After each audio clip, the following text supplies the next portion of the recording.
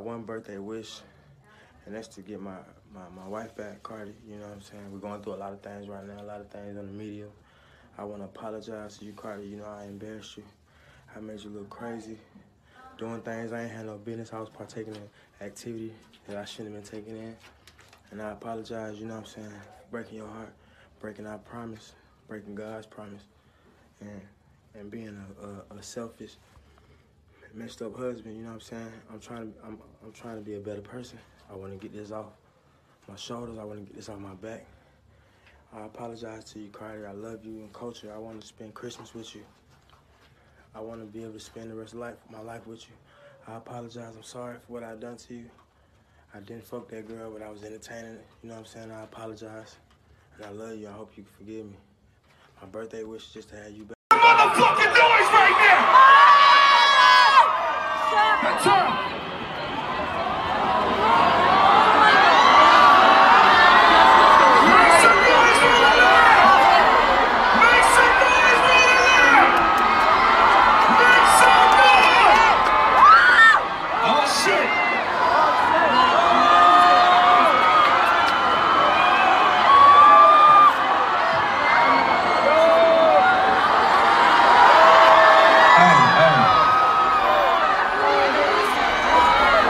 I want to tell you I'm sorry, bro.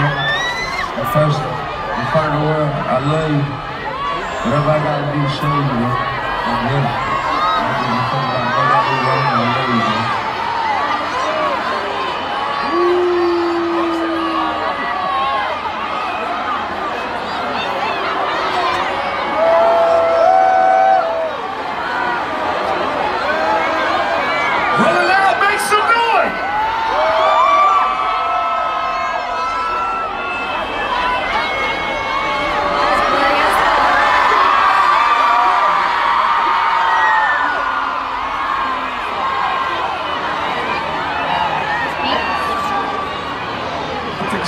Let's get this. Keep going! Let's get this show started! And you know, I really don't. Even though like me on the right page right now, we're not seeing each other eye to eye. I don't want people talking crazy about him because at the end of the day, that is my child's father. He's a good father, and he was a good friend to me. And when niggas was doing fucked up shit to me, my baby father helped me in a lot of things. When people was fucking um practically robbing me. My baby father helped me with a lot of shit when I was pregnant. And I didn't have nobody to help me to like schedule um schedule um studio time and everything because I was so used to somebody else doing it for me. My baby father was helping me, so I don't want to kick. Um, I don't want people talking shit about my baby father. I know he's trying hard, cause I get it. It's December. I get it. We have a daughter. I get it. We don't. We haven't seen each other. I get it. We're not speaking to each other. So I get it. I get what he's trying to do and everything. Like how people is like, you know, talking about it like manipulative or album, but this and that. The nigga's not even dropping his album this month, so cut it out with that shit. That's one. Is what happens, I guess, when shit turns sour in relationship.